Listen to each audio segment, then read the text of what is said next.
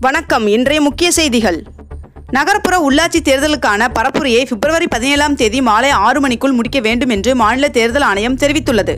முதலாம் ஆண்டு எம்பிபிஎஸ் மாணவர்கள் மருத்துவக் கல்லூரியில் சேருவதற்கான கால அவகாசம் பிப்ரவரி பதினெட்டாம் தேதி வரை நீட்டிக்கப்பட்டுள்ளதாக மருத்துவ கல்வி இயக்குனர் அறிவித்துள்ளார். எஸ்பிஐ வங்கியானது வாடிக்கையாளர்கள் அனைவரும் பேன் எண்ணை ஆதார் எண்ணுடன் இணைக்க வேண்டும் என்று தெரிவித்துள்ளது. மேலும் இதனை வாடிக்கையாளர்கள் செய்யாவிட்டால் வங்கி சேவை நிறுத்தப்படலாம் என்றும் எச்சரிக்கப்பட்டுள்ளது. பேன் எண்ணை ஆதார் எண்ணுடன் இணைப்பதற்கு கடைசி தேதி மார்ச் முப்பத்தி ஒன்று என்றும் தெரிவிக்கப்பட்டுள்ளது.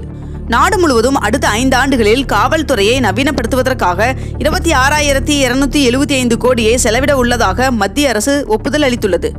சென்னை உயர்நீதிமன்றத்தின் ஐம்பத்தி ஓராவது தலைமை நீதிபதியாக முனீஸ்வரநாத் பண்டாரி அவர்கள் இன்று பொறுப்பேற்றுக் கொண்டார். நாட்டின் பாதுகாப்பிற்கு அச்சுறுத்தல் தரும் வகையில் இருக்கும். மேலும் ஐம்பத்தி நான்கு சீன செயலிகளுக்கு மத்திய அரசு தடை விதிக்க முடிவெடுத்துள்ளதாக தகவல் வெளியாகியுள்ளது. பட்டு நூல் விலை உயர்வை குறைக்க வலியுறுத்தி சேலத்தில் நான்காவது நாளாக கைத்தறி பட்டு உற்பத்தி நிறுத்தியதால் இருநூறு கோடி வருவாய் இழப்பு ஏற்பட்டுள்ளது. இன்று நடைபெற இருந்த பத்து மற்றும் பனிரெண்டாம் வகுப்பு திருப்புதல் தேர்வுக்கான கேள்வித்தாள் வெளியான விவகாரத்தில் உரிய விசாரணை நடத்த தேர்வுத்துறை உத்தரவிட்டுள்ளது. இருபத்தி ரெண்டு கேரட் ஆபண தங்கத்தின் விலை சவரனுக்கு ஒரே நாளில் இருநூத்தி இருபத்தி நான்கு ரூபாய் குறைந்து ஒரு சவரன் முப்பத்தி நாலாயிரத்தி நானூற்றி தொண்ணூற்றி ஆறு ரூபாய்க்கு விற்பனையாகிறது. அதேபோல் ஒரு கிராம் வெள்ளியின் விலை அறுபத்தி எட்டு ரூபாய் இருபது பைசாவாகவும் விற்பனை செய்யப்பட்டு வருகிறது.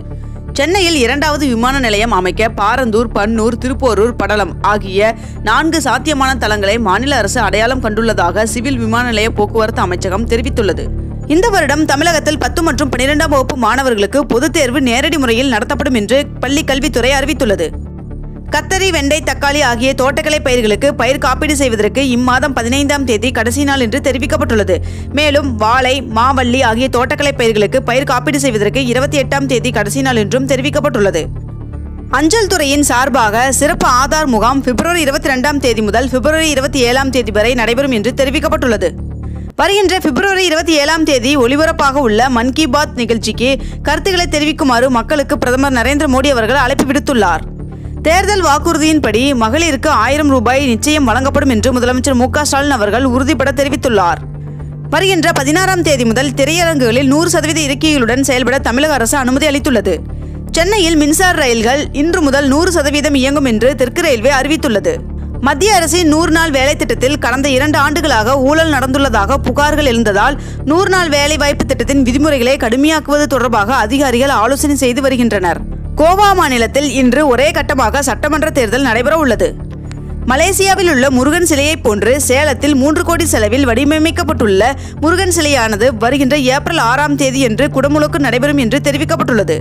நகர்ப்புற உள்ளாட்சி தேர்தலுக்காக மக்கள் நீதி மையம் வேட்பாளரை ஆதரித்து வருகின்ற பதினைந்து மற்றும் பதினாறு தேதிகளில் மதுரை கோவையில் கமலஹாசன் அவர்கள் பிரச்சாரம் செய்ய உள்ளதாக தகவல் வெளியாகியுள்ளது. முன்னதாக ஒத்திவைக்கப்பட்ட இயக்குனர் சங்க தேர்தல் வருகின்ற இருபத்தி ஏழாம் தேதி என்று நடைபெறும் என்று தமிழ்நாடு இயக்குனர் சங்கம் அறிவித்துள்ளது. கன்னியாகுமரி மாவட்டத்தில் வருகின்ற பதினாறாம் தேதி உள்ளூர் விடுமுறை அளித்து அம்மாவட்ட ஆட்சியர் உத்தரவு பிறப்பித்துள்ளார்.